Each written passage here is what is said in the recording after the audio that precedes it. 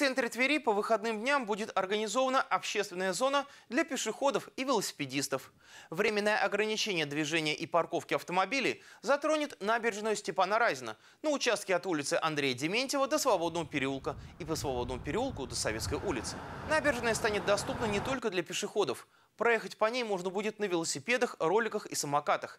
Объезд транспортных средств, за исключением машин спецтранспорта и автомобилей жителей домов, расположенных в зоне временного ограничения движения, будет осуществляться согласно временным дорожным знакам. Напомним, что 5 и 6 июня на набережной Степана Разина прошел общегородской спортивный фестиваль «Движение», в рамках которого профессиональные тренеры фитнес-клуба провели бесплатные занятия по стретчингу, скандинавской ходьбе и силовые тренировки.